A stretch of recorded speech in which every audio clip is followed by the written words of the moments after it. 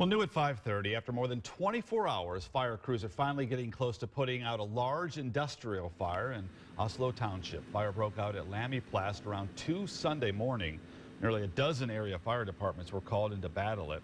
Fire crews are now the only Osolo fire crews are now the only ones left and hope to have it out soon. They do, but while they are just beginning to search for what started that fire, neighbors are left to deal with the aftermath of being evacuated from their homes. WSBT's Ed Ernstes has the latest. Judy Letner didn't have to go very far to witness efforts to douse the fire. She could see this from her back window. The fire right on her property line in her backyard. She was one of dozens of people asked to evacuate their homes when the fire erupted. They came Saturday night at like uh, 3 in the morning. The police officer knocking at the door telling us we had to evacuate real quick. We're all petrified.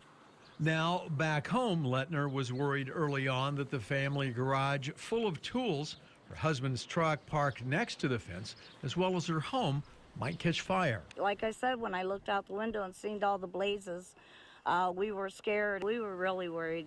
As it turned out, hers and other nearby homes were spared as fire crews spent considerable time protecting them. She says the runoff water from the fire has now seeped into her backyard as well as her garage and is now frozen, and adds she would be curious to know whether there is anything harmful or toxic in that water. Yes, we are.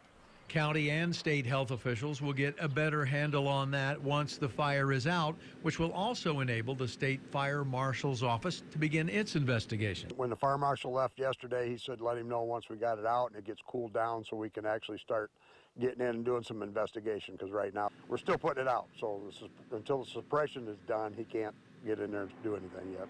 Ed Ernstes, WSBT Channel 22 News. Firefighters have been pumping water on that fire from way up high on an aerial truck. Heavy equipment has been tearing apart what remains of the site in order to better reach those hot spots that are there.